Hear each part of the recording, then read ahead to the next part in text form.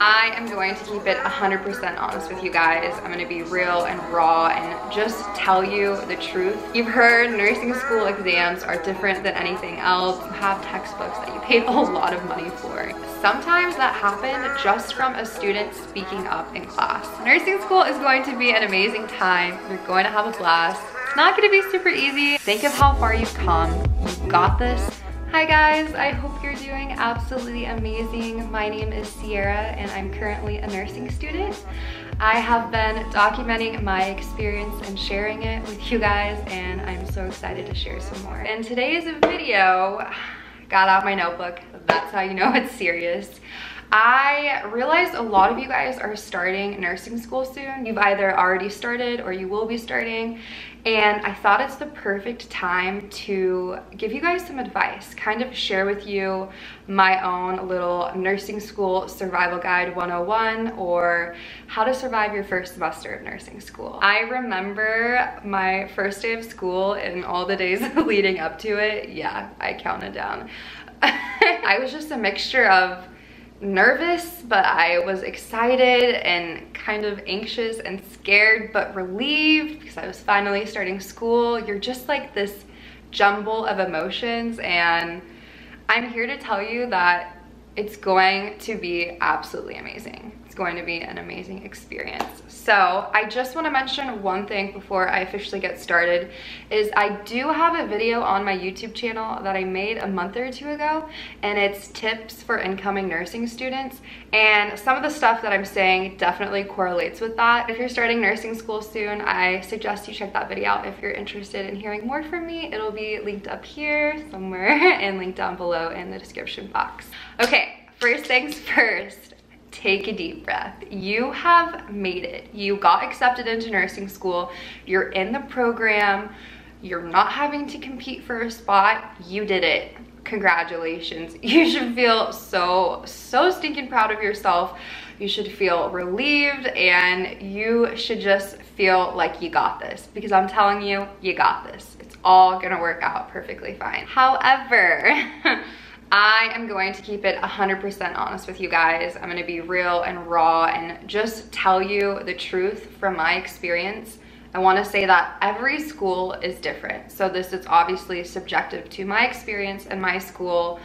So just kind of keep that in mind as you're following along. All right, time to pull out the notebook. Initially, it's going to be very overwhelming your first day just because everything is so new. You have so many new people, new faces, you're in a new environment.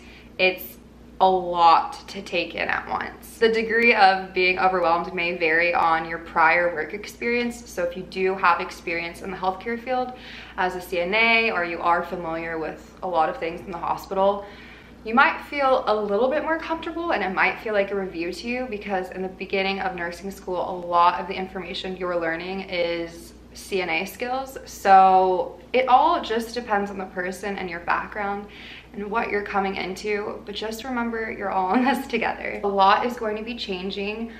Your schedule is going to be completely changing, obviously. Your time management and the way that you devote your free time and what you choose to do with it, whether you focus more on school or other activities. Big thing is managing money because I know quite a few people quit or go down to part part time, meaning they work like once a week, twice a week, maybe once to twice a month. And take that with a grain of salt because I know there are people that do work full time while they're in nursing programs or people who are parents, which is more than a full-time job while they're in nursing programs. Kudos to them. Or there are people that literally are a parent and they're working and they're in school and I just wanna say, you're amazing. I don't know how you do it. So again, everything is obviously subjective to the individual. Your daily routine and all that is going to be shaken up in this first semester. And that's kind of how it's supposed to be. Because as time progresses in your program, you get a routine, you know what needs to be done, and you feel confident in it and yourself, to be honest. Now you are entering this new territory and it's very unfamiliar. Even if you do have a prior degree or you've obviously taken college classes before, this is kind of just different altogether. It's like nothing I've ever experienced and I really don't feel like people can fully understand what it's like to be in a nursing school program until they're in one themselves. I feel like that is the same with any sort of program, even engineering, law school. So I'm just saying this is going to be a little uncomfortable and it's okay because you're all probably feeling that way a little bit. At the same time, you really have to welcome it with open arms and go in it with an open mind and adjust as needed. One of the, sorry, there's a stinking fly. One of the most prominent words that's in my program He's annoying. Get out of here. One of the most commonly used words by our instructors and the nursing staff and facility is flexible meaning be flexible because so much is always changing. That's just how it is in the medical field with science and data. Things are constantly changing and with what is happening right now, there are a lot of changes. People are doing school online or in person. So really, ultimately, you kind of just have to be flexible and take it day by day, roll with the punches. You're not alone in this, just remember that. With that being said, a lot is going to temporarily change in the duration of this program. Like I had mentioned earlier, how you choose to spend your free time, if you have any. I'm just kidding, kind of. And your study habits and techniques. I know, speaking for myself, that how I studied in A&P, in my English classes and my other science classes is not how I study in nursing school. It just, it doesn't cut it, it doesn't work for me. And I know it's like that for a lot of people, but we'll get more into that in a little bit. So initially when you start, hopefully prior to starting or right in the beginning of when you start, you're kind of like in the calm before the storm. I just want you to make sure that you get all of your ducks in a row. And by that, what I mean is Take care of your personal life and everything you can to reduce as much stress as possible before you start nursing school. If that means cleaning your car, getting it detailed, getting an oil change, going through your closet, organizing your room, creating a really nice space that you can study in that feels zen and you feel like you can really focus whatever little minuscule things or big things that you need to accomplish and take care of to help reduce any stress, I would really, really suggest doing that really. Make sure you have a good support system, meaning a few people that you know you can rely on if you need them, if you need help when things hit the fan, because that may or may not happen while you're in school just having people that you know are there for you. And I'll let you in on another little secret. You're going to have a really great community once you begin school and you meet people there because they're going through the same thing as you and you guys will be relying on each other then. But I'll talk about that more in a minute too. Lastly, make sure you have all of your nursing school supplies, all of your scrubs, the stethoscope that you need if you need to get any patches sewn on your scrubs. Make sure you have everything ready before you start school so you're not scrambling last minute. On a side note, I wanna mention I have an Etsy shop where I do sell nursing school related items. I came up with the idea of it after I finished my first year of nursing school just as a creative outlet for myself and a way to help me pay for my nursing education. So if you guys are interested, you can check it out. It's on Etsy. I sell badge rails, badge rail accessories, like little mini Sharpies, pens, or highlighters. I have stickers and clipboards. And if you're interested, it'll be linked up here and linked down below. Okay, back to business. So when you initially start school, it is so, so, so stinking important that you are organized. And by that, I mean you have some sort of planner. This could be like a physical planner. That's what I use. There are planners you can get on your iPads, your laptops, your phones, anything that works for you. Maybe a big bulletin board in your room anything because you are really gonna wanna have everything organized and I'm telling you this because the moment you don't, the moment you forget an assignment or you're late on something, it's gonna be a really big wake up call because every point and assignment matters in school. You don't want to miss out on that because you weren't organized. So make sure you have a planner or some sort of way to stay on top of all of your classes and your clinicals. In the beginning of school, you should get a syllabus from your instructors and you can write down your due dates, your assignments. They should explain more information so you can get a better idea. I recommend writing down like a time every day to studying. This is because I truly think it's better to study for a shorter amount of time every single day than dedicate like two, three days a week to just studying hardcore. That doesn't really work for me. I feel like I'm kind of cramming information in my head and I'm not actually retaining it. And I want to retain this information because this is going to be my career, so it's really important. But what works for me may not work for you. Everybody's different, and that's why it's so important to learn what works best for you. And that's what this whole first year is about. You're going to navigate how to properly study when the best time for you to study is. I know I am so much better at focusing early in the morning, really early, than I ever, ever would be at night. I will not be getting anything done at night, I'll tell you that right now. Something that is really important to take into account again is that every nursing program is different and the classes that you take in your first semester may be different than mine. Your clinical experience may be different from mine. I know some schools in the first semester, they're only doing skills in their lab. For my program, we were able to go to a nursing facility and then as the year progressed, we moved on to the hospital. Maybe some start in the hospital, I'm not exactly sure, but everybody's program kind of moves at a different speed but in the end, you all learn the same information, hopefully. One thing that I do initially right off the bat is when I'm writing in my planner all my due dates and this and that, and I'm looking at the syllabus, I always calculate how many points I can miss in the class to still receive the grade that I want. I kind of work backwards. I've been doing this since A&P. I'm like, the class is worth 500 points. I want to receive an A. I can miss this many points throughout the whole class period and still receive an A. Does anybody else do that? It, I don't know. It works for me. It kind of calms my nerves and gives me hope that I can receive that A that I want. So if that's something that interests you, I recommend doing that. It's hard because you have all these assignments, but then your exams are worth so many points. And so at least in my program, your grades are really dependent upon your exam grades. So there's not a lot of wiggle room there. And I know there's not a lot of extra credit. We got offered a couple opportunities for extra credit. And I do wanna say that sometimes that happened just from a student speaking up in class where they just asked the teacher, is there anything we can do for extra credit? Or they suggested an idea of something that we could do and then our instructors would say yes.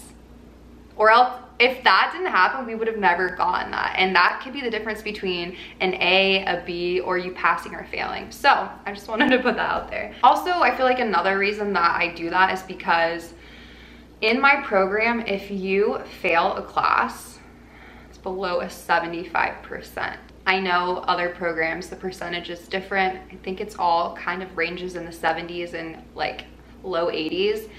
But if you fail a class, you actually have to kind of step out of the program and then you can potentially restart it in a year, but you have to reapply.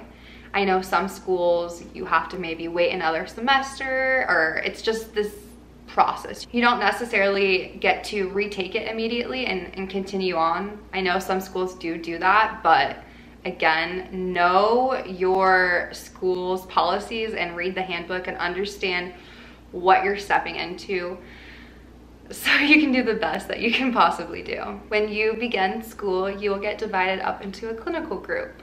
I have no idea about this. So in my program, we are divided up into groups of eight. And these are people that you're with for the remainder of your nursing program. And you guys work really closely together on practicing skills, doing group projects, working together in the hospital, various things like that. And initially, we got put together at random and it can be really nerve wracking because you're surrounded by people you don't know. You guys all come from different backgrounds, you're different ages.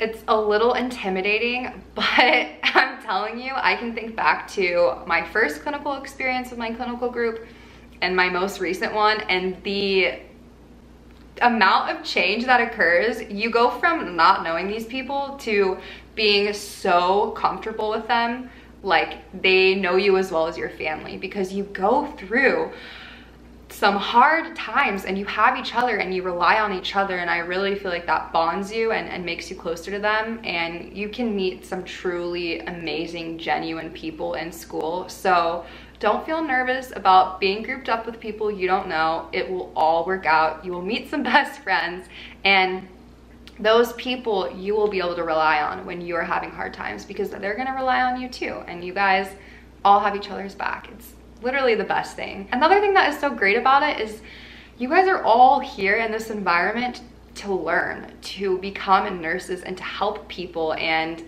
be the best that you can be. You're all choosing to be here. It feels a little bit different when you're in like a basic English class that people are just showing up for, whereas this is like, no, you wanna be here and you're gonna do great. And being surrounded by that, I feel like only just pushes you forward more in the best way. So as the semester progresses, you will experience your first quiz, your first exam, and it is so normal to feel like a nervous wreck. It is very nerve wracking just because you don't know what to expect. You've never had this teacher before, possibly. You've heard nursing school exams are different than anything else. It's scary, it's worth a lot of points, just know you are not alone. You guys are all in this together. You're in it with me too. But that is why studying the right way is so, so important. And what I mean when I say that is every instructor you have is going to have a different way of teaching information, but the ultimate goal obviously is to pass nursing school, get through it, make it through, and then become an amazing nurse and help others. But before you can do that, you have to pass the NCLEX. And so all the information that you're learning in school is just tools to help you pass the NCLEX. Studying is so important too because your time is limited. I can truthfully say I never understood when people would say that there is not enough time in the day to get things done. Growing up, being a teenager, being a young adult, sometimes I'm like, when will this day end? It is too long but that is not the case in school. You have so much to do, so much that you want to accomplish and get done.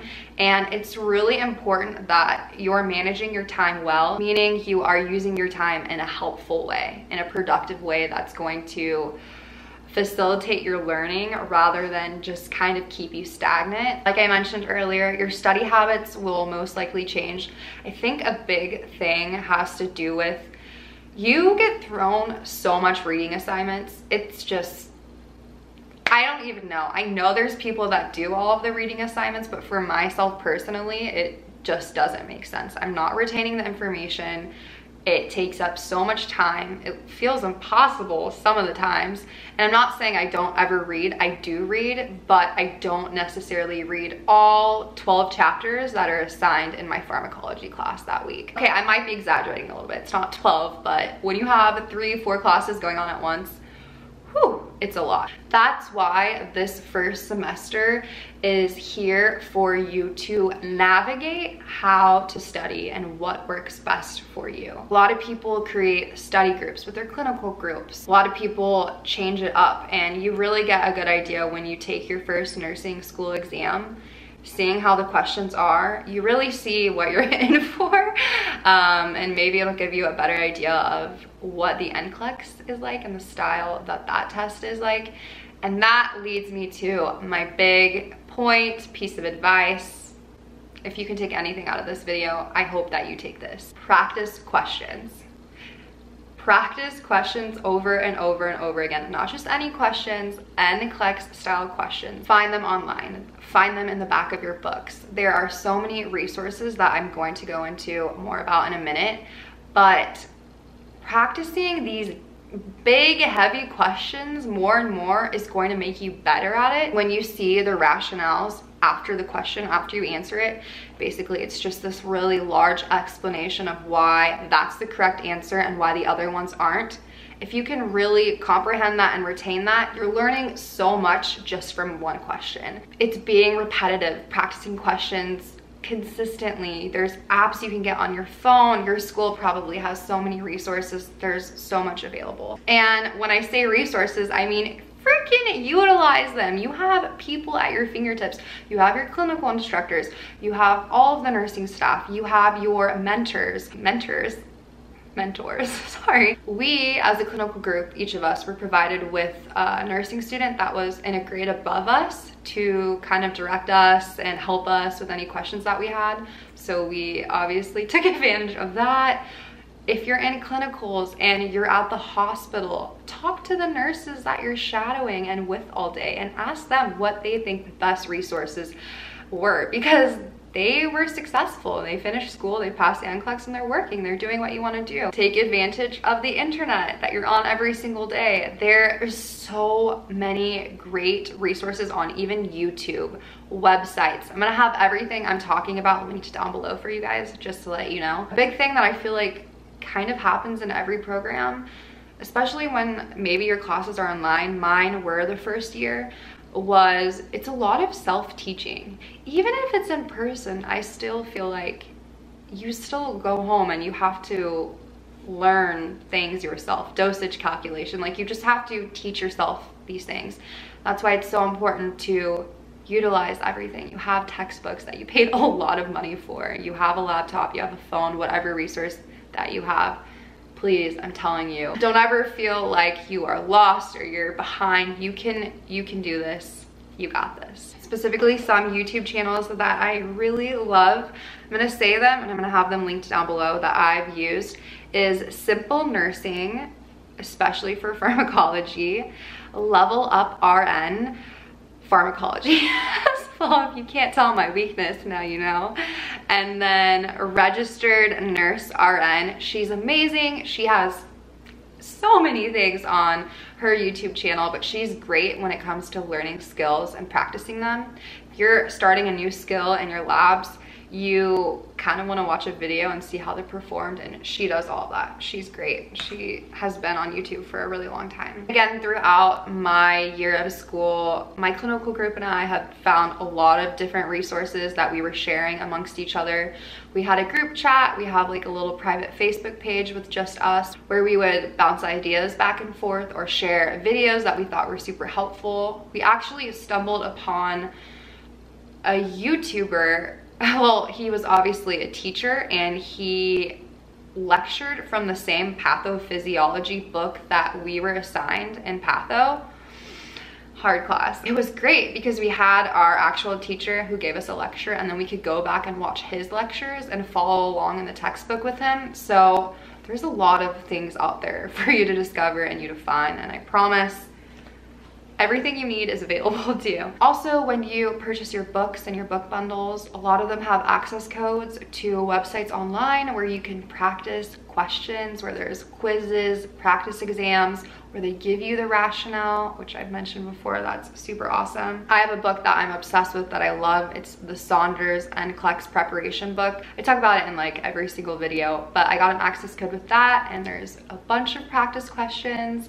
There's a website that my brother recommended to me and then let me use his account, thank you. It's called Your Best Grade and that is because my school takes HESIs. I know some schools take ATIs. There are so many websites out there. Just read the reviews. Some cost money, some have like monthly memberships. It all just depends. There's Quizlet too. I just wanna say be careful with that because there can be some misinformation on that. So just be smart about where you're gaining your knowledge from. But obviously, if you've made it this far, you are smart, so you know what to do. Before I move on, there is one site that I wanna specifically talk about, and that is Picmonic. Basically, Picmonic is a mnemonic learning company that helps students pass their exams. It's made for nursing students and medical students. The reason why I like Picmonic so much and I'm recommending it to you guys is that in school, you are studying a lot. There's so much information that's going to be thrown at you and you are just expected to take it and go and then build on it with this new topic. And it's really important that you figure out a way that's easy for you to memorize information. You learn to get creative with the way that you have to remember things, remembering medications, different assessment tools, various things that you learn in school. And what is so nice about Picmonic is it is an audio visual learning system with stories that has characters that really help you remember concepts. It's super easy to navigate. It's organized and you have a bunch of different categories. You have your pharmacology categories, you have your assessments, and it goes into really great detail. Picmonic is used by over a million students. It's free to sign up and you can get it on your desktop, your iPhone, or your Android. If you are interested in Picmonic, they do have monthly memberships where you can pay a small fee and get access to more information, tests, quizzes, and videos. And I actually have a discount code for you guys. So if you click on the link above or click on the link in my description box, you will receive 20% off of your membership. And I just want to say again, Picmonic is absolutely amazing. I remember in some of my classes, we would have to get together and create little projects, like little videos. And we got a lot of ideas from Picmonic because it's so creative and sneaky with how easy it is to memorize information. It's super helpful. All right, I know this video is getting long, so I'm gonna wrap it up. I just want to remind you guys again, it may be very overwhelming initially, but I promise with time, it's going to get easier. I, I mean that. I promise you, and I will make a bet with you because you will learn how to navigate school, your personal life, your hobbies, and you will really surprise yourself. You can do it. You got this. So just remember to take it moment by moment, day by day, take a deep breath, figure out what helps you relieve stress in a healthy way. Maybe that's exercise, taking a bubble bath, watching a little bit of TV, drinking a glass of wine or two, whatever works for you, do it. Okay, hi, I'm getting a little bit closer because I'm gonna get serious with you for a second. I just need you guys to know that you are not alone. You are not alone in nursing school. You may have a really rough day where you don't do well on an exam or you have a really horrible experience in the clinical setting at the hospital because of something that happens with a patient or something that happens with the nurse that you're with that day. Or you may just be having a hard time because of personal things that are going on in your life. And just know that you are not alone in this and you will get through this. You are strong and resilient and you've made it this far. Think of how far you've come. You got this. This is going to be absolutely worth it. Lastly, I wanna say thank you for choosing nursing. The fact that you're interested in becoming a nurse or you are going to become a nurse just speaks volumes that you love helping other people, how caring and giving you are, and it's such a rewarding career and I just want to say thank you. You are needed and you are really, really loved. So with that being said, I hope that wasn't too cheesy. Nursing school is going to be an amazing time. You're going to have a blast. It's not gonna be super easy, but it's going to be beautiful. Thank you guys so much for watching. I hope that this video was insightful. You learned something from it, I hope and I wish you guys all the best of luck with everything that life brings you and take care. I will see you guys in my next video, which will be very, very soon. Bye. Camper wanted to say bye too. Aww.